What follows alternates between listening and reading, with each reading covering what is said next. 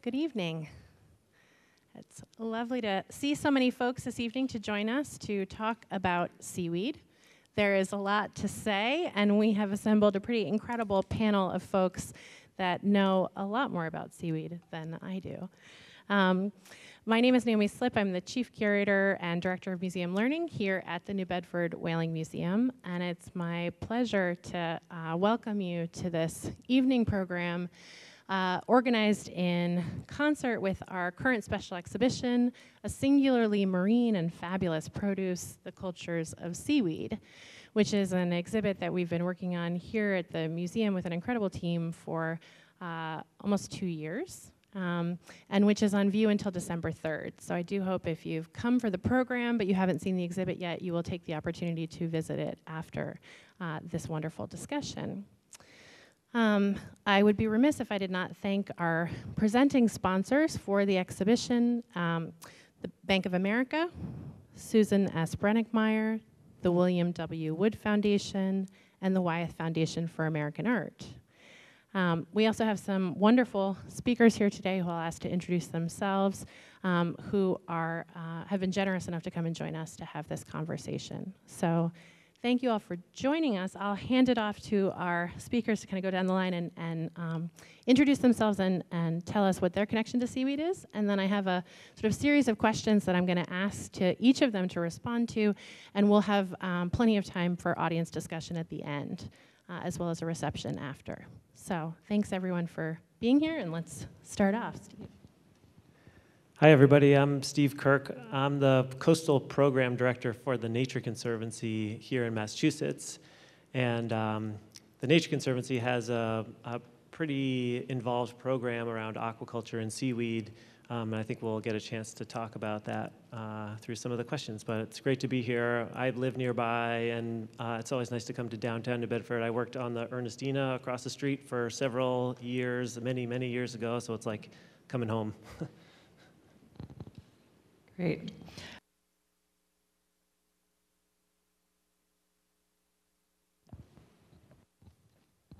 Hello? Okay, sorry about that. I'm Loretta Roberson. I'm an associate scientist at the Marine Biological Laboratory across the bay in Woods Hole. And I've studied uh, research, I mean, studied res- and research in seaweeds, um, for most of my career, and, um, and we'll be talking a little bit more tonight about that, hopefully. Good evening. My name is Thew Suskiewicz. I am the seaweed scientist and I run the cultivation center at Atlantic Sea Farms, which is a vertically integrated women led company that partners with seaweed growers throughout the Gulf of Maine um, to harvest seaweed and then turn it into tasty products to sell all around the country. I'm Scott Lindell, a research specialist at the Woods Hole Oceanographic Institution down the road in Cape Cod. Um, I've sort of had a 40 year love affair with uh, aquaculture or you know, farming waters um, near and far. Uh, started out as a fish farmer some 37 years ago and I've been working my way down the food chain ever since. Uh, moving to Cape Cod, it was all about shellfish and seaweeds, and uh, um, who knows, maybe next we'll be growing uh, microbes. Uh, but I, am particularly thrilled about this seaweed chapter in my life. It's been the last 10 years or so. Um, just a great, uh, great community. And I, I, will share as a, a, bit of a preview, thanks to um, Beatrice Oliver, who does all of our special events, uh, that you, if seaweed is not a normal part of your diet, it is a part of the reception catering. So you will be able to get plenty of seaweed uh, in a mouthful after the event. Um, so I'll, I'll ask my, my first question here, and um, I might send it uh, back to you, Scott. Can you describe your current work with seaweed briefly for a lay audience and tell us what you are most hopeful for as an outcome? Sure. Um, my current work with seaweeds uh, has been lar- largely funded by um, the Department of, Department of Energy and uh, most recently by the World Wildlife Fund. Um, those are two very disparate sources of funding, as you can imagine. but they're all focused on trying to make the next great change that we need for our society. How do we produce food and fuel and energy and all the, all the sustainable resources we need from low carbon resources? And seaweed is some of the low, lowest carbon intensive resources that we can grow, and we can turn it into a whole variety of different products. Um, we'll discuss more later. Um, was there a second part to your question that I haven't answered yet? Uh, I think you hit on that one, what you're most hopeful for. I'm hopeful that that will all come to, to pass in my lifetime. Great. Um, Thew? So my job is with Atlantic Sea Farms, and the way I describe it is that I am responsible for our cultivation center, which is basically a nursery. So what we do is we grow all of the baby kelp plants on spools that we then give out to our partner farmers and allow them to grow the next seaweed crop. And really, what I'm most excited about is the fact that this industry is taking off. And globally, seaweed cultivation is a 30 billion pound, 35 billion pound industry. But here in the United States, we're just breaking about a million pounds, million and a half. So there's a really long runway, and we have a really talented workforce that can transition into growing more seaweed domestically.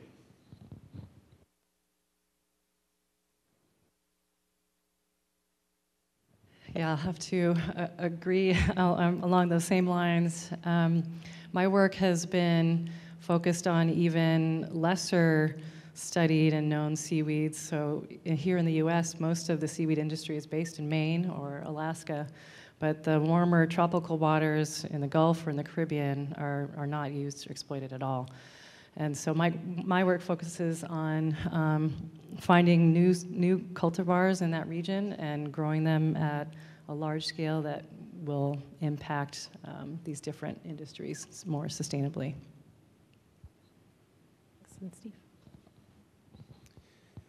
You know, uh, so the Nature Conservancy is an environmental conservation organization, and um, you know we're working holistically for a world where people and nature thrive. and to do that and reach our goals, we're we're really trying to address the two greatest challenges on the planet being the climate and biodiversity loss crises. And you know, I think there's been a little bit of setup toward the discussion around aquaculture and particularly seaweed. Um, I think it's relevant here to, to, at least reference that agriculture on land um, has contributed to those crises in a, a not an insignificant way. So thinking about the greenhouse gas emissions that come from growing crops on land, to 70% of the uh, fresh water on the planet going to agriculture, 80% of land conservation, uh, land and habitat degradation due to agriculture. Um, growing things can be damaging.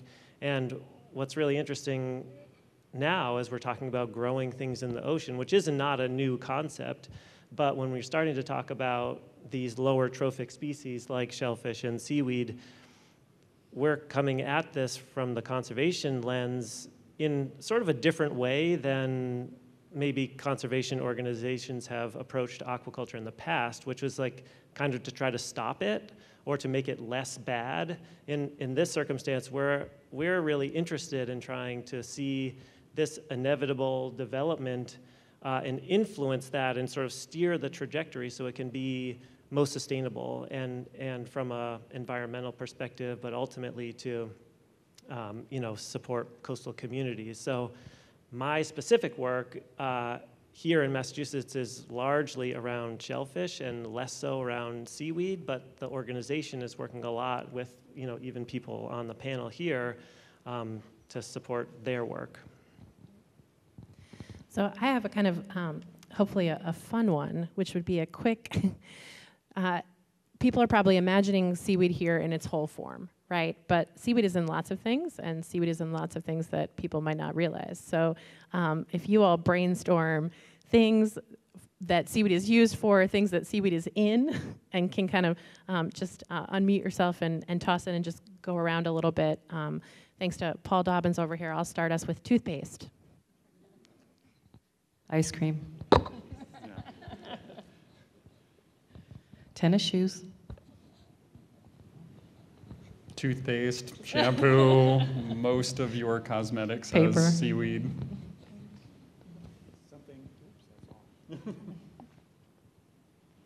Something has just come on the market, still in test form, are plastic films. Home compostable plastic films. Think about those shirts that you get from LL Bean or whatever. They're wrapped in a plastic film that lasts a lot much longer than the shirt you just purchased, probably. But think of how revolutionary it would be if we can readily availably get this. And a company called Sway in San Francisco um, has just developed the first kind of commercial prototype for that. That's very exciting. Anyone else? Anyone in the audience want to throw one out there? I'm not sure about this, but I, I owe Perigene in that spray that was, Mhm. theoretically, I got, I don't know if it's true or not, it's fifteen bucks. Not good for, um, viral. Yeah, yeah. So antiviral, medicinal properties and purposes. Yeah. Paint. Paint. All right. Yeah. What are the, some, some of the usages in food? What why is it used? Why is it used? Right. Why is seaweed used in food? Well, I'll toss that to one of our Yeah, help. food folks. Well, well, there's sushi, of course, wrapped. Well, It's also like ice cream. Yeah. Well, it's, it- so um, parts, uh, there, seaweed can be refined into certain colloidal products that are good for thickening. So they're usually used in food processing for thickening agents or um, emulsifying. And then just in terms of the taste as well, is more than just putting it into sushi as well. It's found increasingly in uh, lots of sort of veggie burgers and vegetarian options. There's fermented because you can take seaweed and ferment it the way that you would cabbage, make it into sort of a sauerkraut style or a kimchi style, in addition to the normal seaweed, you know, seaweed salad that you may be familiar with from Asian, Japanese restaurants. I was going to say bull pickles, bull kelp pickles. Although one of my favorite products that's made with seaweeds are sort of snack snacks that you would eat, and it has one of the best names ever. Uh, and they're called chicharrones. So if you've ever had chicharrones, pork rinds, these are like chicharrones but made with seaweed, and they're very tasty and more healthy. Fertilizer. I, w- yeah. I was going to mention that you know these are these are products, and you know people here are working on trying to convert it into other things like biofuels and that sort of thing. But the use of fertilizer, you know, like my aunt still goes and gets eelgrass that washes up on the beach for her garden, um, and you know thinking about that on a more massive scale could have real impact from a agriculture perspective. So one of the original, uh, absorbent wound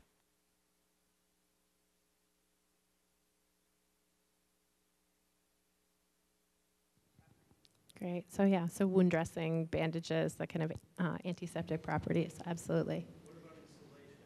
Insulation. Thank you, Henry. Yes. Absolutely. Yeah. And we have some great examples of seaweed insulation in the exhibition. It's a really yeah, popular choice. Mhm.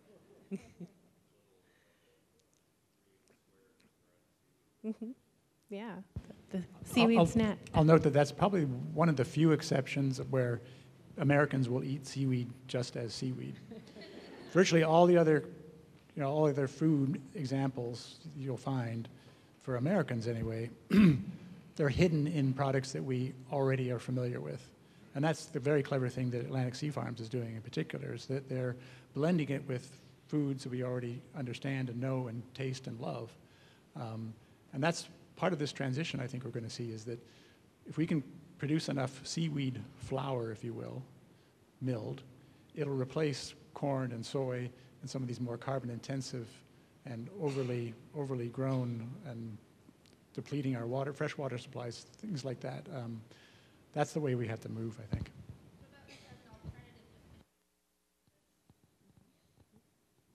That was a alter- I'm repeating the questions just because we're filming in the back here. So alternative uh, to fish oil for for its um, properties, absolutely. Yeah, nutraceuticals in general are a big source of where a lot of the kelp meal goes. And also fish feed, right, or other animal feeds. Yeah, I was going to make one correction. Seaweeds, at least the kelps, have very little lipid, so there's not much oil value to them. They can, depending on the time of year they're harvested, have a relatively high um, nitrogen, but still pretty low. The real benefit is in the nutraceutical or anti-inflammatory or anti-cancerous qualities that these seaweeds have. Very special ar- ar- array of micronutrients and microbial products that are, are good for stimulating immune systems especially. So I'd love to transition to ask uh, each of you to share a little bit in your opinion. This, I guess, gets kind of to the why of your work for each of you, um, perhaps. Uh, what is the single most urgent current issue, and that could be environmental, social, political, or economic, that you think is potentially addressed by seaweed? So, Loretta, I'll look to you first. Okay, yeah, that's a big question. I, um, I guess I, I should start off and say that I, I love seaweed and I think it has uh, a lot of um, hope and there's a lot of hope and opportunity there, but it's not a silver bullet. That said, I think there's a lot of value that seaweed can bring, um, and it's not just one thing. So um, I would say it's probably the best at, you know, like Scott had mentioned, talking about plastics, that if we can replace the use of fossil fuels, for example, with something sustainable like seaweed, then just that mitigation of you know, not using that footprint is, is a huge, uh, will be huge for, for the planet. Um, and I'll let, I'll let the others comment too. So at Atlantic Sea Farms, we are a mission-driven company, and one of the most important parts of our mission is to diversify the fishery, and seaweed and kelp farming in particular is brilliant for that because it is a winter crop. And right now, we have 5,000 plus lobstermen, and that is 70% of the value of all of Maine's fisheries. And seaweed can be grown at the time of year with the same infrastructure, with the same boats, the same ropes, the same buoys that they are already familiar with using. And so it's really a perfect fit where most of the people who are farming kelp are lobstermen. And so this gives them supplemental income in the wintertime, and then they get paid in the spring. Coincidentally, right when they have to fix up their traps, pay for all of their permits for every single trap they do, retain their crew, and then buy and set everything for their lobstering season. So that's one area where I just am absolutely thrilled to be a part of.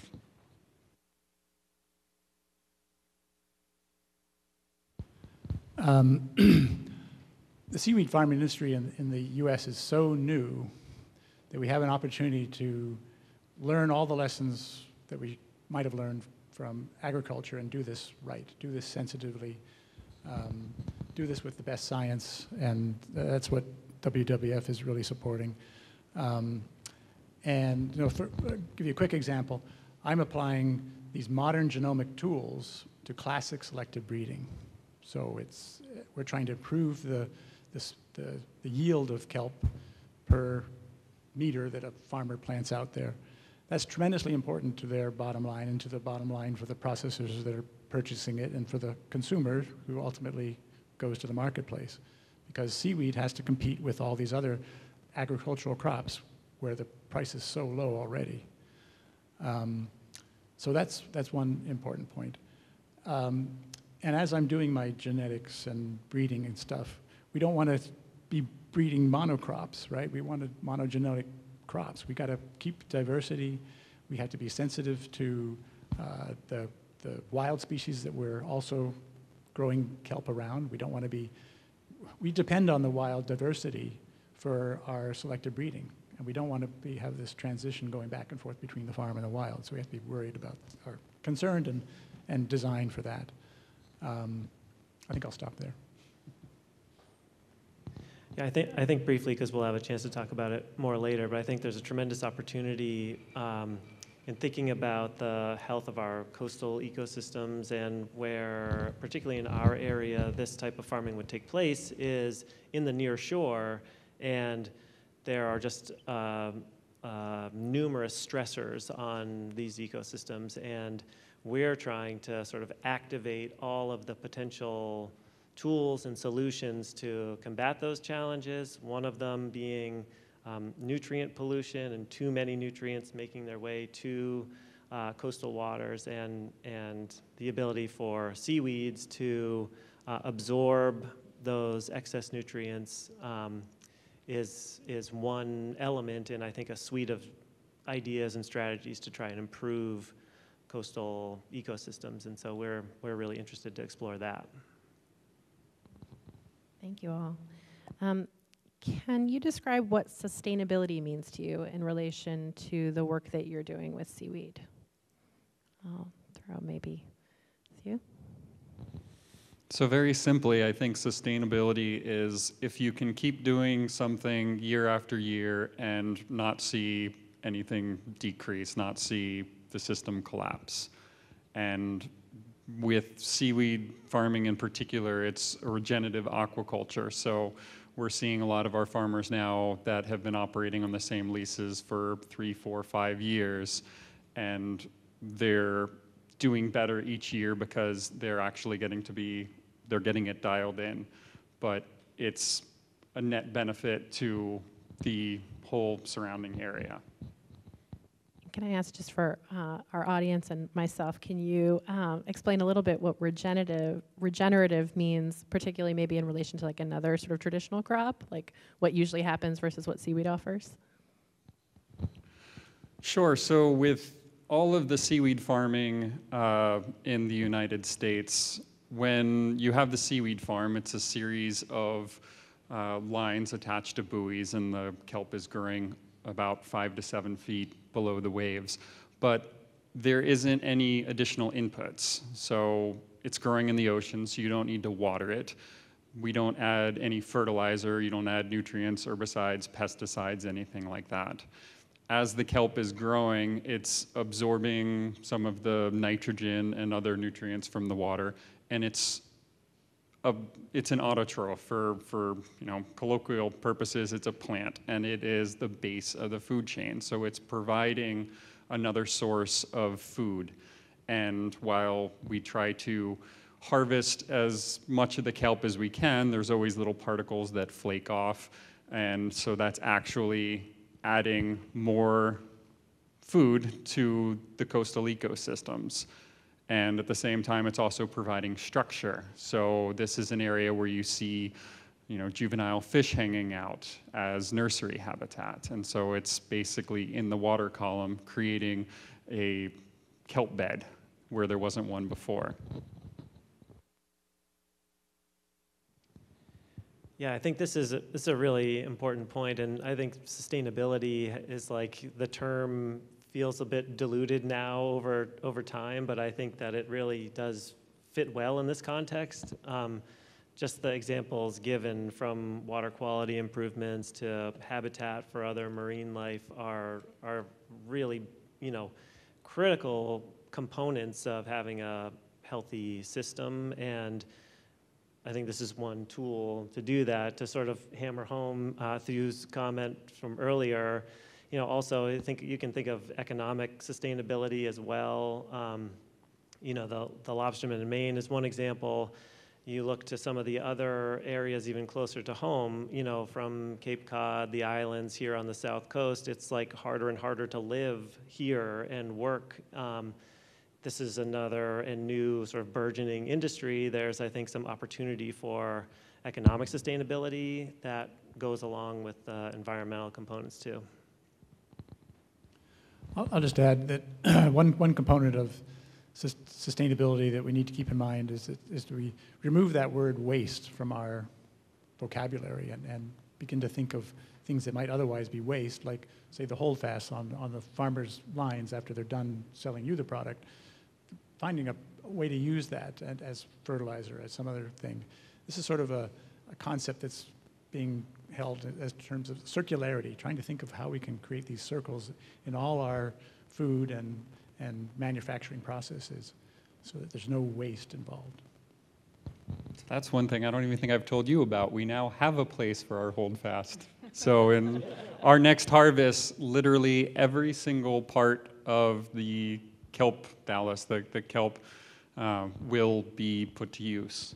So we're really excited about that, that we can have a zero waste stream product. You heard it here first.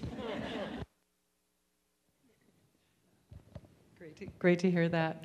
Um, I guess I'll, I don't have much, that much additional to add, but uh, maybe talking to the ecosystem services that they mentioned, I think that's a really exciting area for the seaweed industry to think about in terms of how can we bring more value, not just the seaweed itself, but what it does for the environment. So can we get nitrogen credits for removing that extra nitrogen that's getting into the water? Um, can we enhance biodiversity? Um, on our farms in Puerto Rico and Florida, we see lots and lots of juvenile lobster settling and lots of fish, et cetera, new, new growth around the farm. How can we, um, again, benefit the farmers who are doing this because they're now in areas like the tropics where mangroves and seagrasses have been lost due to water quality issues or development. And those coral reef organisms that need those environments for nurseries, now these seaweed farms could potentially fill in and reconnect these habitats that are essential for the health of those sensitive ecosystems. Um, so I'll, I'll, thinking about this question of kind of the hold fast and a lot of the positive impacts of seaweed, I do also um, want to ask you to uh, describe uh, a single issue that you think is potentially challenging the successes of seaweed farming, whether that's from internally or external pressure.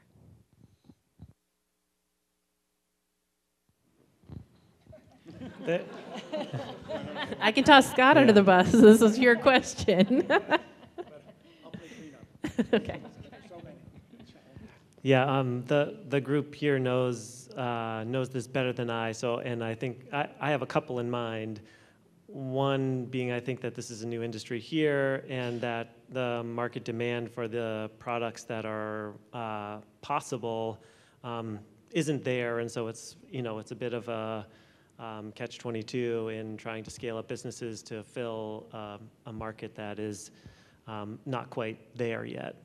Um, another, which uh, again the, the group knows I think better than I, is the, the regulatory scheme and the permitting that's needed to establish a farm like this is, is really rigorous and really challenging. And we, we see this through some of our other work, even around things like habitat restoration, um, other aquaculture installations where there are really robust environmental safeguards, which have done great work at uh, at protecting you know sensitive natural resources, and yet um, the same permit that you'll need to uh, you know for a department store to put a parking lot on the marsh is the same that you might need to you know start a kelp farm or um, try to restore that marsh, and um, so I think that's a that's a challenging circumstance that I know that this group has run into.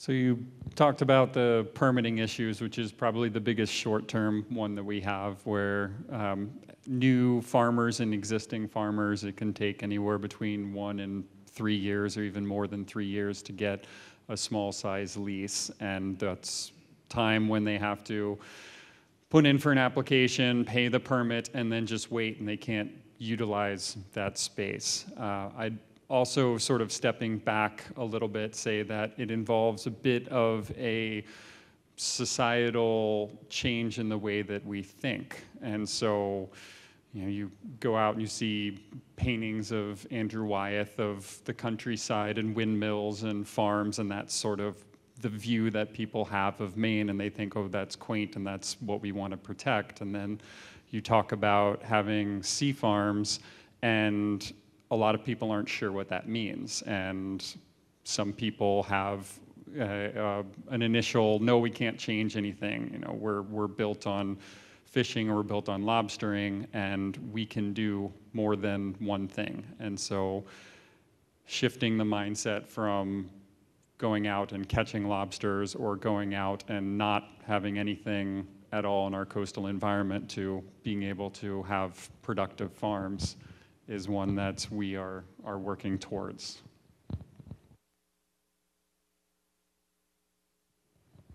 Yes, um, I think I can add a- little bit in terms of the, the permitting and regulation side. One, an additional, uh, or one part, essential part of that is the marine spatial planning, and um, many areas don't really have a good spatial, marine spatial use plan, and certainly ones that don't include um, seaweed farming. And so, how can we more equi- equitably use that space and make sure that everyone is represented and, um, and use, use it most effectively. Okay, I'll, I'll bring up the big black whale in the room. Um, protected species are a big uh, concern among regulators. Um, they have to, the Endangered Species Act is typically uh, referred to in, in many of the applications here in New England because right whales and other protected species migrate through areas where we might see seaweed farm. And uh, um, fishermen are being tasked to take all their rope out of the water, and they rightly say, well, you can't let this, this seaweed farm go ahead and put rope in the water. Um, so there's a lot of pressure to, uh, to consider where does seaweed fit in this. And there's a couple, couple things afoot to try to understand that risk. First of all, you, you need to understand that um, seaweed farms are very different from lobster lines. You know, lobster lines are loose, they're not tensioned. Seaweed farms are under, under, typically they've gone through some kind of engineering design and are under tension and are like, much more likely to deflect a whale than to uh, entangle a whale. First of all, I mean, another thing is that we, you know, with marine spatial planning, we can understand at least the likelihood of whales going in certain areas. And so we obviously don't want to put it in their feeding grounds. Um, putting a, a seaweed farm in the middle of Cape Cod Bay in the wintertime would be heresy. Um, but we can plan around their timing and their, and their feeding habits. Um, to put things in perspective, uh, with some NOAA scientists, we, we did some calculations of how much seaweed lines and mussel rope lines, which are significant as well, are there in the water in any one year? And they would circle the globe about 50 times. And over the last 40 years, we've seen eight entanglements with eh, recorded entanglements, mind you, um, in those kind of aquaculture gear. But every year, with just enough rope to circle the globe seven times here in the Northeast, Canada and New England included, we, we, we entangle over 30, between 30 and 40 whales. So the risk is so much greater and it's infinitesimal. I will say, of those eight whales that got entangled in the last 40 years, four of them died tragically. Many of them in, one, two of them in New Zealand, for instance. But the, the rest were, were cut free because the, the farmers are checking their, their farms fairly regularly. Can you talk about, I believe your lab is working on some new technologies around that? Not my lab, but Hui has, um, Hui has developed some technologies for being able to spot whales um, that's really going to be revolutionary. Uh, It, it, has, it involves some uh, infrared technology where y- night or day you can tell if a whale is passing through. Thank you. Um, all right. So we've talked uh, about the science of your work, um, some of the implications, some of the questions to consider as we think about seaweed and its futures. Um, would each of you share one of maybe an economic or a cultural or a social impact that you think seaweed might have beyond the sort of um, immediate applications we've discussed or a longer term?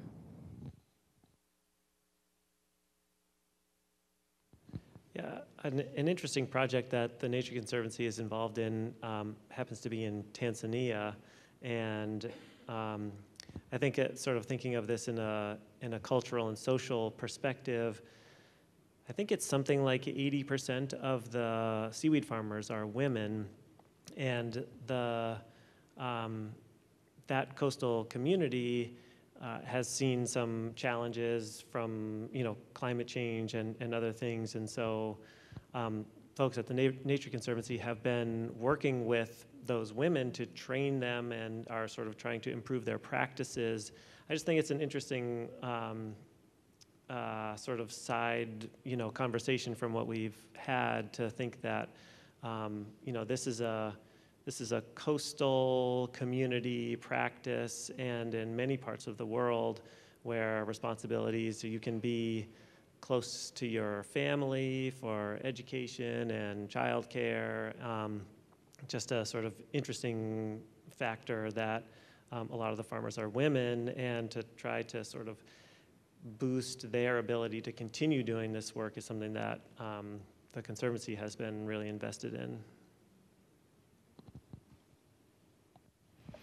Kind of along those same lines, um, one of the reasons we're doing work in Puerto Rico is, as many of you know, they've um, are, have a debilitating economic crisis, and it's an island that's surrounded by a lot of marine resources that are completely unused. And so we uh, are hoping that we can help build a seaweed industry there to um, provide an, another source of, of income as well as benefits to the environment.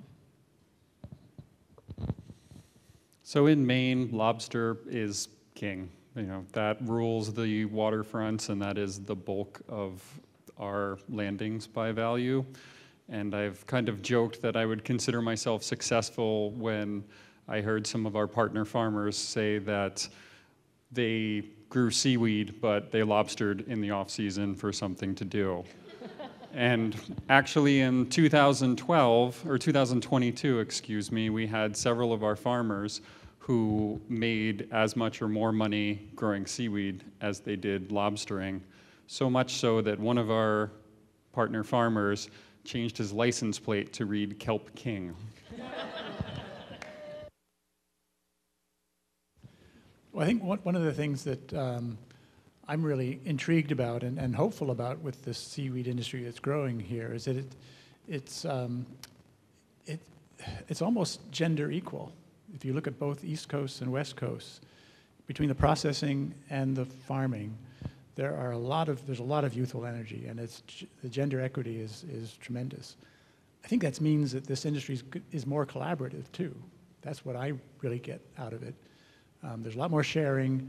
There's a lot less, you know, protectiveness about well, hey, we're not we're not competing really against each other. We're competing against king corn and soy and all you know all the other um, byproducts. So uh, that's why it's, it's a great place, great time to be working in this seaweed industry. Just if I can sort of add on that, one of the other really great things that we've noticed is typically with fishing, it's something that the fishermen keep things very close to their chest because they're all going after the same resource. They all want to protect where the best spots are, where they are selling their catch to. And it's a completely different model with seaweed farming where we're actually seeing a ton of collaboration because people have their own lease sites and they know what they're going to have when they sell their crops. So it benefits everyone to have more harvest. And so guys are going helping out with harvest on other people's boats. They're talking about how do they rig their farms, how do they get a better production. And so we've gotten to the point now where our more senior farmers are actually taking on the new farmers and helping them become better seaweed farmers.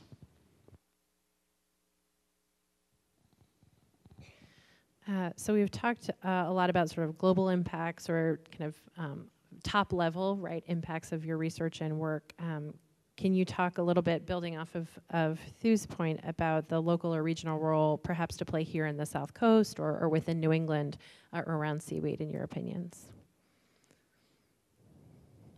Going to throw that to Steve first. I'll, I'll start, just um, sort of jumping off where I left, uh, how this is involving, you know, youth and energy and women, something that's been missing from the maritime industries in general.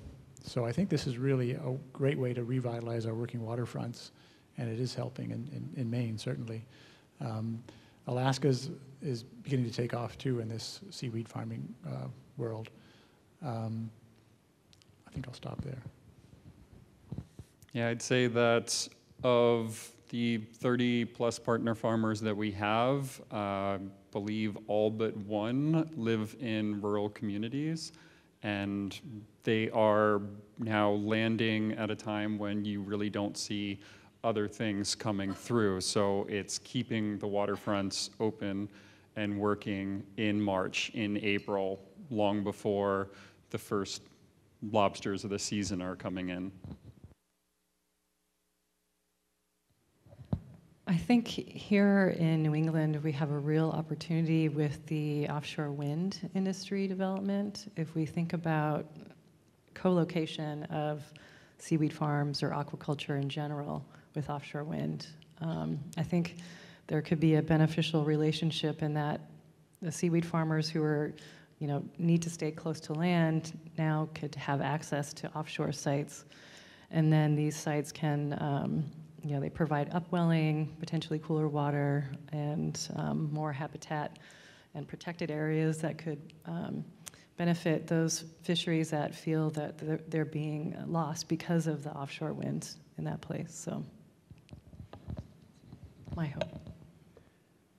Yeah, I think um, I think that there is opportunity in our backyard here, but I also think that there's still sort of quite a long way to go. I, I look to the researchers and farmers here.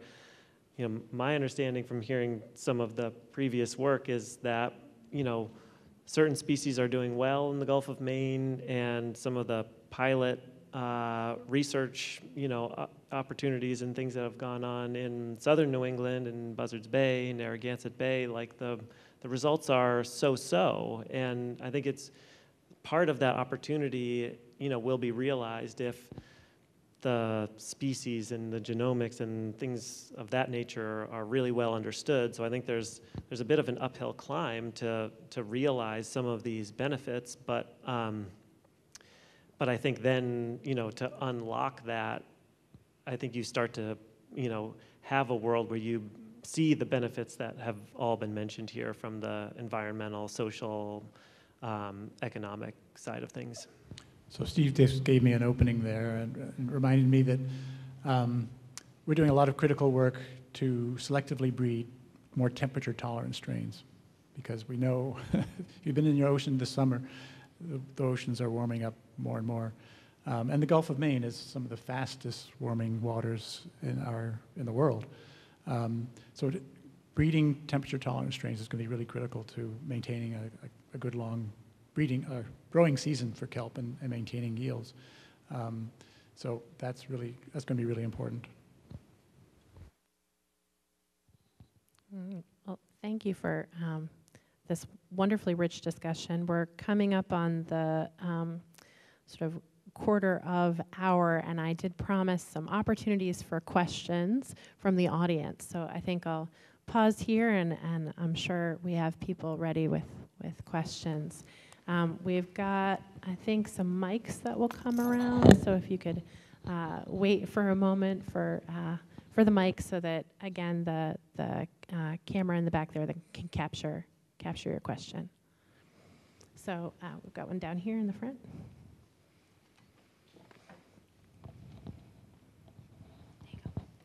Awesome. Hello, how are y'all? My name's Adam. I'm a reporter with the New Bedford Light here in town. I have a couple of questions. Um, I mean, you guys touched on the fact that there's a lot of uh, leeway for this market to take off, but I mean, it, we've also heard that about some other crops in the past. I think about like hemp and uh, you know canola on land and other you know other animals and things in, in the water. I'm just curious as to what I mean. Are you optimistic or how hopeful are you this is, is really going to take off, or if it's just going to kind of stay a niche industry? And what what what you foresee the future of this looking like? And I also have an, another question too, which is I mean obviously biofuels and fertilizer and products of that nature uh, are needed in today's society. Uh, but I mean, how optimistic are you that this will dis, that this will uh, displace, you know, uh, corn or uh, you know, uh, soybeans or or other products, plastic even, uh, you know, or once again, will it kind of remain this niche thing? I'm curious as to you know what you see the future of that as as well, especially with you know, climate change and things of that Right. nature. Well, I think your last point is probably the, the biggest pressure point, right? Climate change, insurance agents um, rising our, raising our premiums because we live near the coast or we're subject to storms, et cetera. All these economic pressures may finally bring a tipping point in our social thinking, our political thinking, that we need to change the way we're, you know, the paradigm we're living in right now. We can't, we can depend on cheap corn and, and cheap soy for a while, but when there's no more fresh water or the storms are so horrific that we need, we know we need to do something different with our food system, which is breaking down around us, um, that's when we'll come to our senses and hopefully, you know, price carbon the way it should be priced. And when something is as low carbon a cost as seaweed is available as a feedstock to replace those things, then the economics will shift. But we also need a political shift as well to make that happen. Because if we wait for economics to work, which I'm working as hard as I can, and as fast as I can to make it more efficient, it's not going to it's not going to happen fast enough in order to avoid some climate catastrophes in the meantime. If I can just address the first part of your question about um, sort of the runway for kelp cultivation in the United States, just to give you a couple numbers. Globally, we're looking at somewhere between 33 and 35 billion pounds of seaweed that are grown throughout the world, and that number is actually increasing every single year. But the second part of this is that in the United States right now, we're growing somewhere between one and two million pounds. Just domestically, our best estimates is that we're consuming about 20 million pounds of seaweed just in the food industry. So 95, 97% of all the seaweed that we eat here is already coming over from Asia. So that's an enormous potential without anyone changing any of their diet. And that also doesn't include all the other uses that we're finding for domestic seaweed fertilizer, nutraceuticals, um, bioplastics. So we can grow the industry many multiples over without anything changing right now, other than where we're sourcing it from. Hi.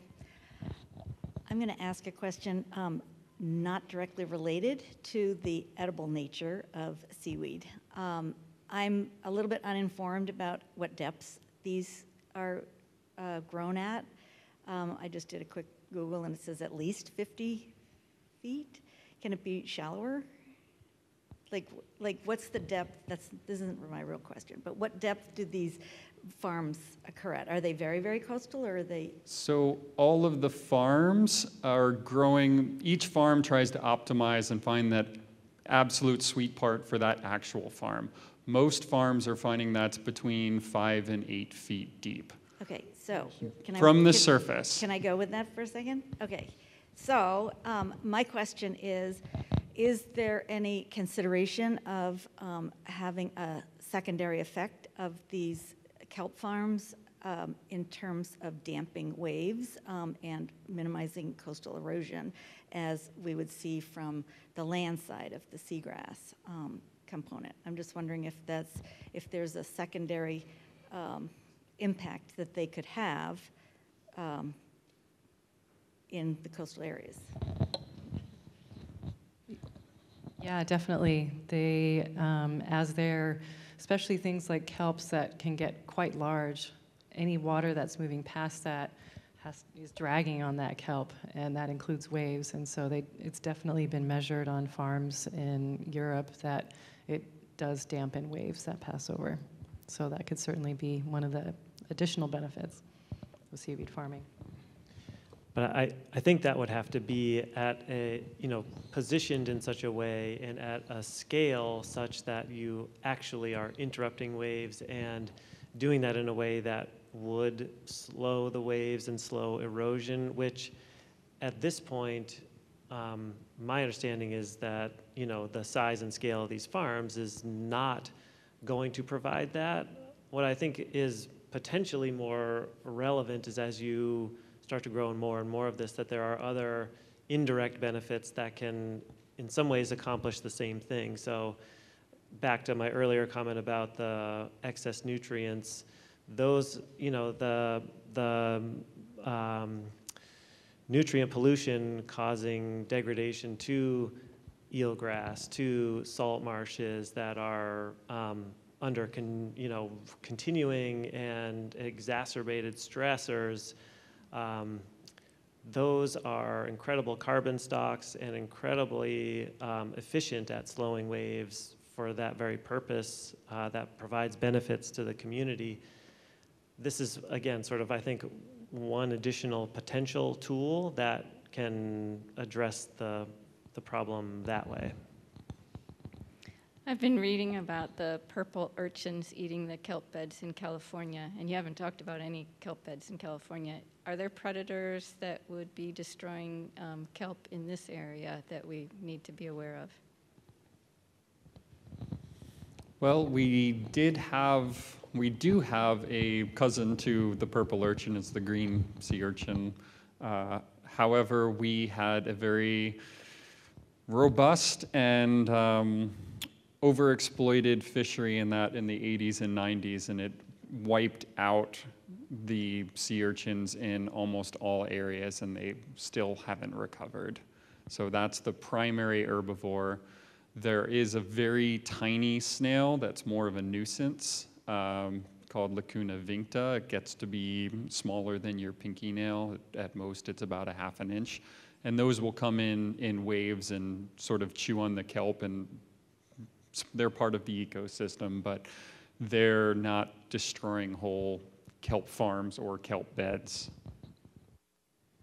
I think one additional opportunity here is that if you have an industry and um, people that are farming with the experience and the infrastructure to grow the native species in our area, there's the potential to uh, leverage that experience and infrastructure to um, restore the natural habitat. And so we have examples of this in the shellfish world, um, you know, farmers becoming habitat restoration practitioners. Um, there's opportunity and examples of this going on in the seaweed world as well.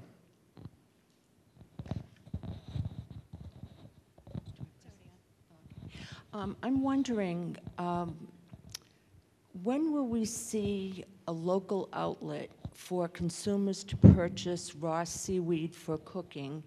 Um, what varieties would we see, and what would the price point be?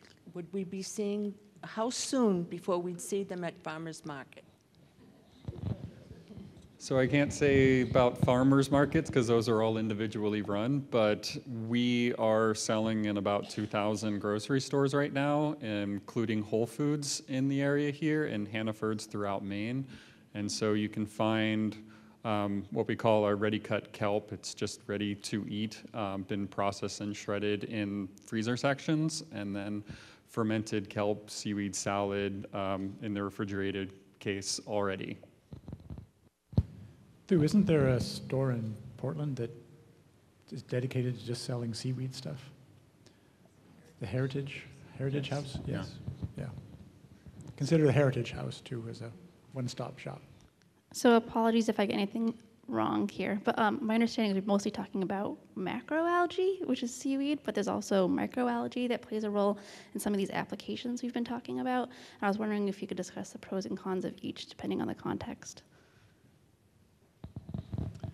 Sure. I, I pursued a, a microalgae to biofuels program for four or five years with some colleagues at the Woods Hole Oceanographic Institution. Um, very tough nut to crack, uh, largely because um, it's very difficult and very energy intensive to remove water from microalgae. It's pretty easy with seaweed. You just hang it up and it evaporates. But you can't, you can't really hang up a microalgae. It's just, it just runs away and dissolves. Um, so that's been one of the principal drawbacks in the energy in, in trying to produce microalgae. Um, and most microalgae uh, have to be grown on land. Uh, so you got a capital, you have a much higher capital expense. It's often done in the desert where there's not a lot of fresh water to begin with, but they try to use some saline waters that, uh, um, to make it a long story short, um, ExxonMobil has spent over half a billion dollars trying to produce biofuels from microalgae. And it's only in the last year or two, and, and, and almost 15 years, it's only in the last year or two they've decided that they probably should pivot to something else as far as bio, biofuels is concerned. There have been some successes growing microalgae to produce other products, other things that those um, very special long chain fatty acids or lipids can be used for. Everything from uh, uh, uh, supplement for breastfeeding milks um, to cosmetics and uh, special, special lubricants and the like.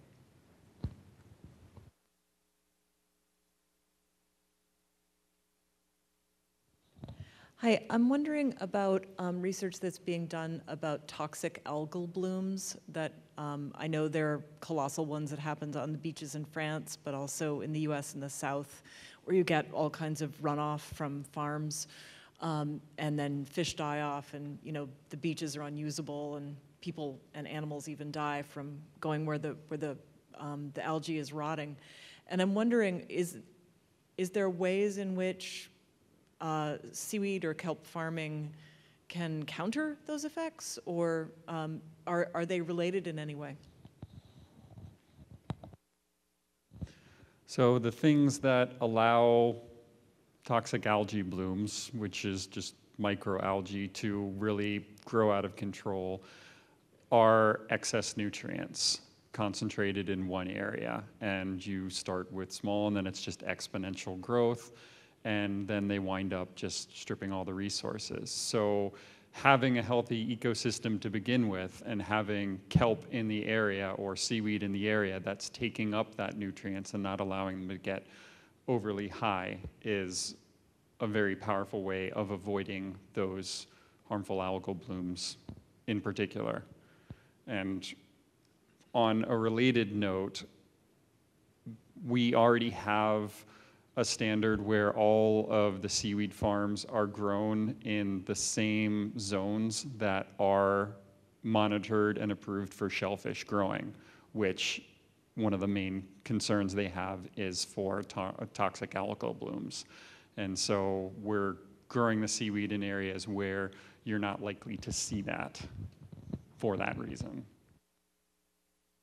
I was just going to add that for at least some tropical species, so not the kelp, but they've been found to deter growth of some of the harmful algal species. So, just research. to quickly point out that that doesn't happen only in Florida and tropical areas. The beach in my town, two towns over, was closed for that very reason. Loretta, I'm wondering, uh, like my limited understanding of these things, it's often related as well to temperature in some ways. So the work that you're doing in your lab, does, um, is there any way in which kind of the discoveries or the, the efforts that you're making might have links there? In relation to the toxic algae or just in? Generally, just thinking about the ways in which sort of um, ocean temperatures are impacting the yeah. kinds of uh, things that are. Yeah, no, exactly. Developing. I mean, that's that's you know one of the reasons why I decided to work with tropical species because the planet is warming, the ocean is warming, and these species are already adapted to those types of environments. And so, um, even some of the species that we work with, Gracilaria, they are found from the Caribbean all the way up to here. It's just in the wintertime up here they die out. Um, and so, um, definitely there's more opportunity. Right now, I think we're growing mostly maybe eight species of seaweed when there are thousands of species out there that we know so little about. Um, in reading um, the article in the New York Times, I think it was, um, it seemed to say that there was a lot of opportunity for economic um, benefit from harvesting seaweed. And I just feel that we have not held back on harvesting all of our resources on land and off also the fish in the ocean. So I wonder if there is potential for over harvesting the seaweed.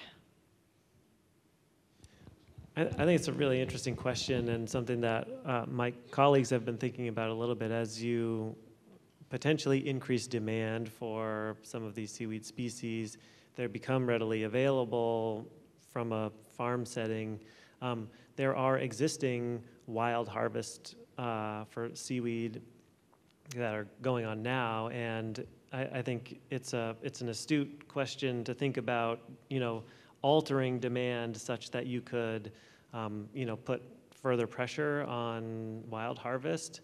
I think just to be cognizant of that, and you probably have to involve the, you know, the regulating community into into decision making to protect what we have. Yeah, I'd add that there are vigorous wild harvesting kelp and other seaweed industries around the world. Um, at, certainly, at least in the developed world, they're very well managed. They're, they're quite restrictive.